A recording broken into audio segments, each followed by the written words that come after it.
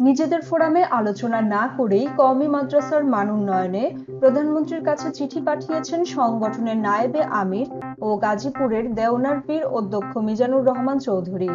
তার এই চিঠির বিষয়ে নিজেদের অবস্থানও জানিয়েছে হেফাজতে ইসলাম বাংলাদেশ।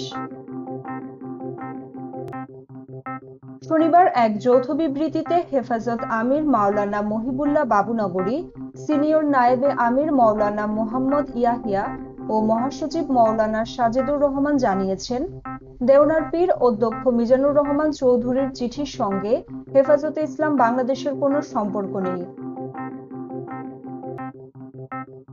বিবৃতিতে তারা বলেন কওমি ধারার দিনী শিক্ষা ও শিক্ষকদের মান উন্নয়ন কল্পে সদয় দৃষ্টি কামনা শিরোনামে প্রধানমন্ত্রী বরাবরে লিখিত হেফাজতে ইসলাম বাংলাদেশের নায়েবে আমির অধ্যক্ষ মিজানুর রহমান চৌধুরীর একটি চিঠি আমাদের দৃষ্টিগোচর হয়েছে। এটি হেফাজতের পক্ষ থেকে লিখিত কোনো চিঠি নয়। চিঠির বিষয়টি হেফাজতের কোনো ফোরামে আলোচনা করে তিনি প্রেরণ করেননি। এটি একান্তই তার ব্যক্তিগত।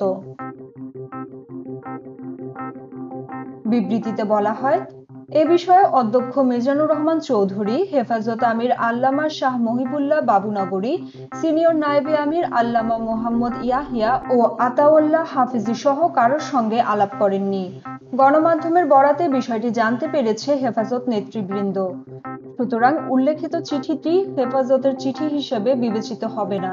এটি একান্তই অধ্যক্ষ মিজানুর রহমান চৌধুরীর চিঠি। এর সঙ্গে হেফাজতের কোনো সংশ্লিষ্টতা নেই।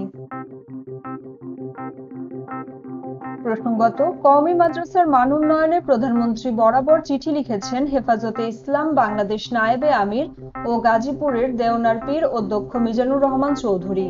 হেফাজত নেতার এই চিঠি আমলে নিয়ে করণীয় নির্ধারণের সভাও ডাকা হয়েছে স্বরাষ্ট্র মন্ত্রণালয়ে।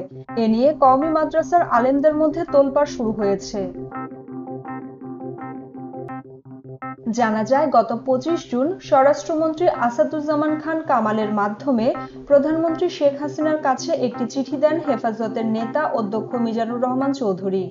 কওমি ধারার দিনই শিক্ষা ও শিক্ষকদের মান উন্নয়ন কল্পে সদায় দৃষ্টি আকর্ষণ শীর্ষক চিঠিতে মিজানুর রহমান আটটি সুপারিশ করেন।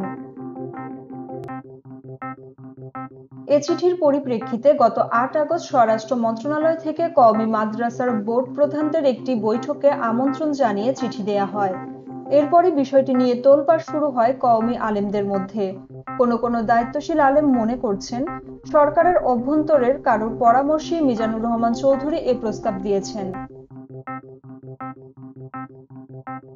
কওমি মাদ্রাসার দায়িত্বশীল আলেমদের সঙ্গে কথা বলে জানা গেছে, দেওনার পীর হিসেবে পরিচিত অধ্যক্ষ মিজানুর রহমান চৌধুরী নিজে কোনো আলেম নন। এছাড়া কওমি মাদ্রাসার কোনো শিক্ষা বোর্ডেও তিনি নেই। শুধু গাজীপুরের দেওনা এলাকায় তার একটি মাদ্রাসা রয়েছে।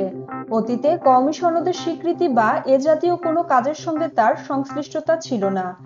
এমন প্রেক্ষাপটে কওমি মাদ্রাসার মান উন্নয়ন নিয়ে প্রধানমন্ত্রী বরাবর তার চিঠি প্রেরণ এবং সে চিঠি আমলে নিয়ে সরকারের উচ্চ পর্যায়ের বৈঠকের বিষয়টি কওমি আলেমদের বিস্মিত করেছে।